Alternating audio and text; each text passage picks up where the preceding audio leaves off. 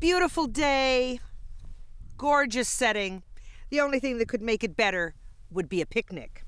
And the only thing that makes a picnic better is any kind of bird turkey, chicken, grill it. The taste of bird of any kind.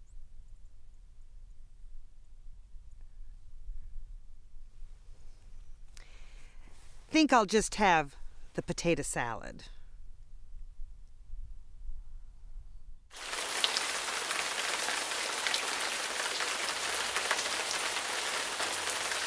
Movies from the last 50 years, parodies on everything from Saturday Night Live to the Cooking Channel, make this selection famous around the world. If you're here, somebody's making you read The Raven by Edgar Allan Poe. Now, written in 1845, this actually was met with some jibs and jabs and a little bit of parodies at the time. Could it be that Poe's dark themes and stories were a little too scary for the public? Schooled in England, Poe did very well in his studies, but his adopted father didn't send him enough money. And in his 20s, he was just buried in drunkenness and debt. By 1831, he went to New York City and he became an editor, married the love of his life, Virginia, who died. Then, at the end of September in 1849, Poe headed out on a train to Boston, but he never made it. They found him in Baltimore, stumbling around in a stupor the first week in October. At the time, Baltimore was plagued with a serial killer, and it is believed that Poe went there to see what he could do about this serial killer. It was even believed that he might have known who the serial killer was. The real life story of Poe's death is as mysterious as one of his stories.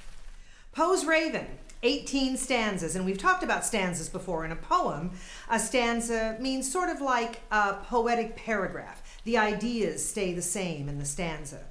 Now, in the first, oh, four or five stanzas is when we meet the speaker.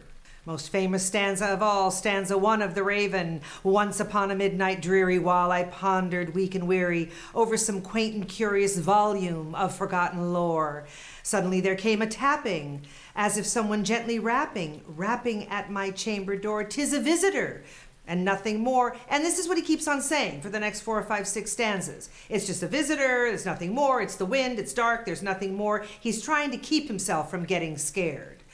Then by stanza seven or eight, we get to meet the culprit. Well, at this point, the speaker is still pretty much with it. He hasn't freaked out yet. And we finally get to meet the raven. Open here I flung the shutter, when with many a flirt and flutter, in walked the stately raven of the saintly days of yore, perched above my chamber door, nothing more. The speaker says he didn't do anything else. Now, a raven is a corvid, which is a mimic. It's a bird that just repeats everything that it hears. So when he eventually starts to answer him, nevermore, nevermore, even the speaker says this is just a word that some other owner taught him. It has nothing to do with me. It had nothing to do with him. Now, the last four or five stanzas really take our trip to crazy land, or really probably more obsession land. Now, the speaker already knows that everything that this bird is saying has nothing to do with him. It's just words that he's repeating. Ah, but it doesn't help. Then methought the air grew denser, perfumed from some unseen censer. His mind starts thinking about all these things. His dead girlfriend, Lenore, will I ever see her again? He talks about the balm of Gilead, which is a biblical reference to relief from pain. What about the night Plutonian, which is a reference to going to heaven? And of course, we know the answer to all of these are nevermore.